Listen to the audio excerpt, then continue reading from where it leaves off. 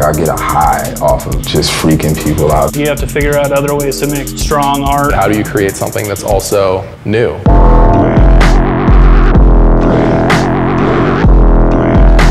Ain't nothing you gonna say to me that I ain't already heard. A lot of chaos. A lot of buffoonery. And a lot of fucking yelling. Got the system down packed. Yeah.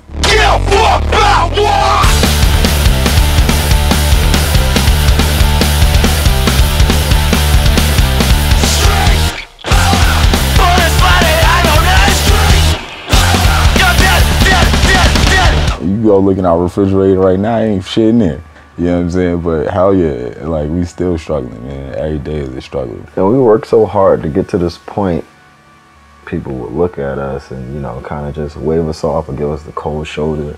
Today we see they looking at us like, oh man, yo, can we doing something? We're like, what? Five years ago, you ain't want to come to New Jersey and do the show with us. Yeah, that's what it is. We're all young.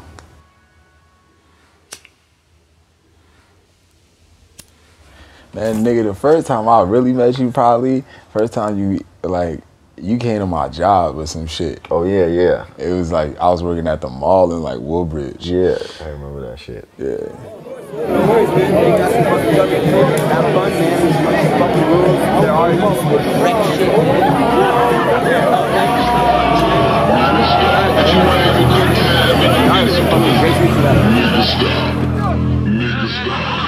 Cause this motherfucker's like a maniac, you know?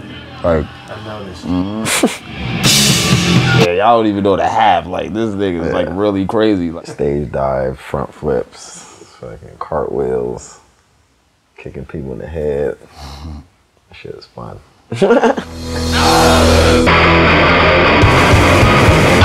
Control chaos. man. Yeah, this nigga is like a loose dog.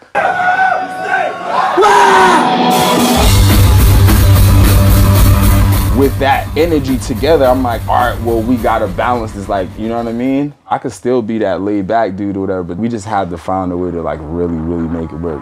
You motherfuckers better never know Cause I'ma lose my shit I just lost my shit We don't take no shit We wasn't exposed to punk or rock or any type of uh, alternative music other than hip hop and rap. That's what we grew up around and what our parents were listening to. My first cassette tape was Bone Thugs and Harmony.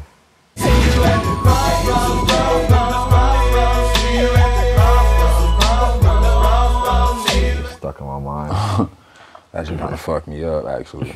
My parents hid that from me. That just opened the doors up for Busta Rhymes, Missy Elliott, Andre 3000. Like, this nigga was wearing like football pads with like fucking fur pants with some fucking stripper boots with wigs and like all types of shit. Like, I'm just, my mind's always, you know, fucking racing for shit like that. Like, I get a high off of concepts and costumes and just freaking people out because I'm a freak.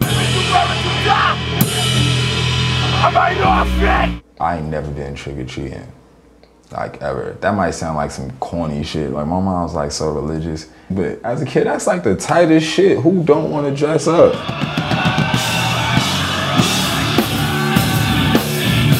It's just those little freedoms that I didn't have as a kid that I have now. I could fucking dress up now and fucking throw candy at my fans. Like that's just tight to me. ain't nothing you gonna say to me that I ain't already heard. Cause we come from the hood where motherfuckers don't like niggas in skinny jeans and fucking nail polish and hair like this. Like, you know what I'm saying? Like, they don't like that shit. Look at like Marilyn Manson. You know what I mean? Like, this nigga was making hits, but he was still Marilyn Manson. Like, he was, motherfuckers say whatever they want to say about you, and you still keep you. That shit is beautiful to me.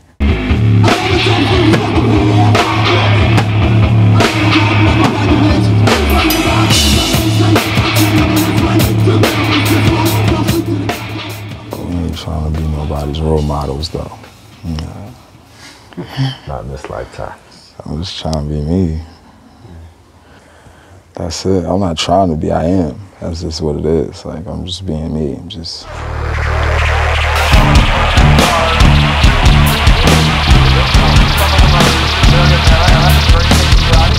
Forced to learn at school, or you're forced to believe in whatever religion, or you're forced to believe that this rapper is fucking God. Like, you know what I'm saying? Like, whatever it is, don't listen to none of that shit. Just follow you.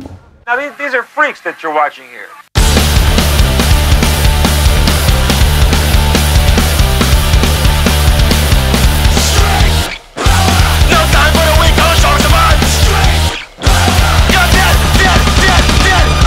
The end of the day, we all believe in something. We all believe in a creator, whether you believe in God or you don't believe in God or whatever this shit is. But you are a human being. You know what I'm saying? Like you could be like, you he could let this wheel go right now. God ain't gonna fucking grab the wheel and take us back home. Nigga, we gonna crash. We're not saying that we don't believe in God. We're not saying that we believe in a darker blah, blah, blah. We're just simply saying that you're held accountable for your decisions. God didn't make you do that. The devil didn't make you do that. You did that. You want to do that. You feel good doing that.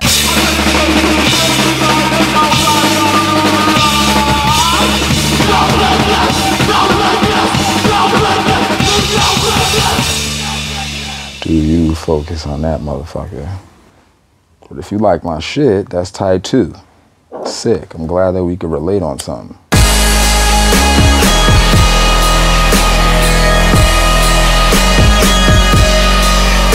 Yeah. Tomorrow ain't promised. Tomorrow is not promised.